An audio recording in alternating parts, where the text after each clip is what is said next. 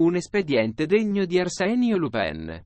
Quello con cui il sindaco di Roma, Virginia Raggi, ha seminato il candidato di Casapondo Luca Marcella, sottraendosi ad un confronto estemporaneo che, a poche settimane dal voto ad Ostia, avrebbe rischiato di trasformarsi in un pericoloso boomerang politico. Un inciampo nella corsa al municipio della grillina Giuliana di Pillo. Virginia Raggi giunta ad Ostia Nuova per inaugurare la prima domus ecologica.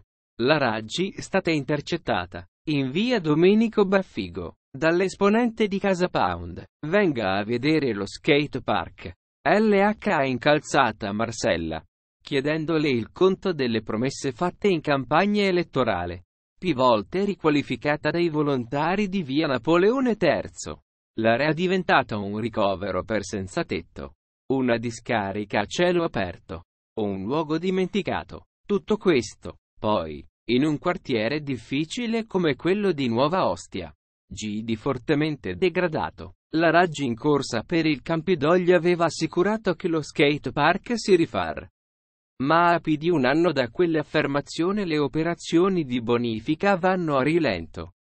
Come lei ben sa ha replicato il sindaco preso alla sprovvista lo skate park lo stanno riqualificando le scuole. Il progetto, infatti, stato affidato ad una progettazione partecipata dagli studenti delle scuole, ma non ancora decollato. E poi, per togliersi dall'empaccio, ha aggiunto, andiamo a vederlo insieme suggerendo l'intenzione di recarsi L.